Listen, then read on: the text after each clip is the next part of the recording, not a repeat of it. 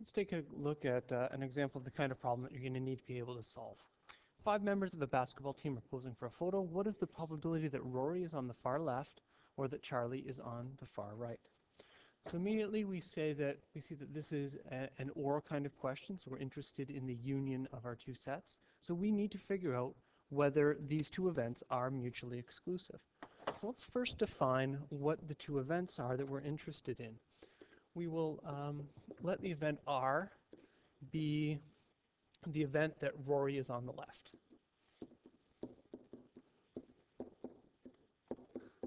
And we'll let event C be the event uh, Charlie is on the right.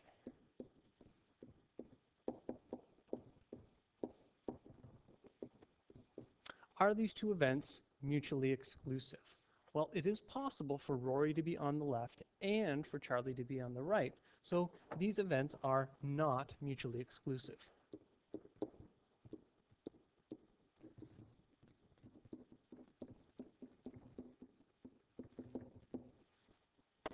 So the probability that we're interested in is we want the sorry, we want the probability, so capital P of R or C or R union C.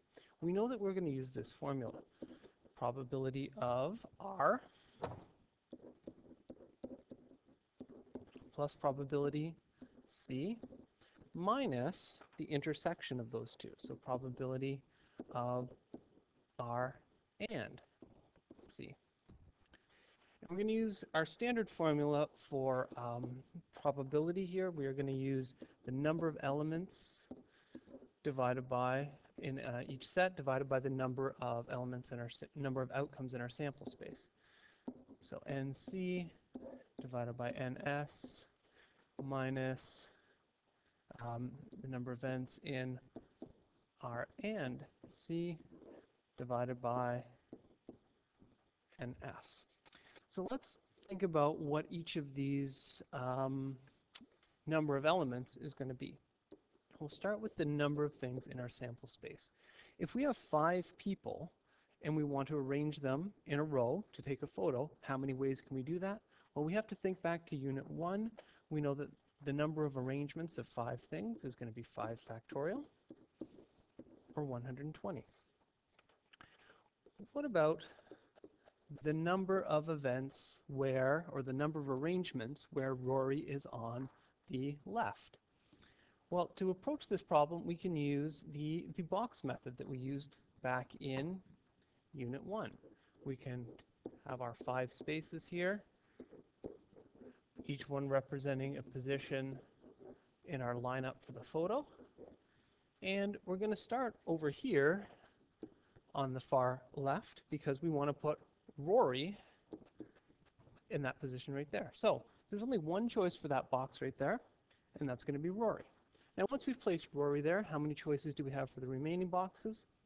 Well, we have four more people to place, so there's four choices here, three, two, one, and then we multiply all of this up, we have a grand total of 24 possible arrangements.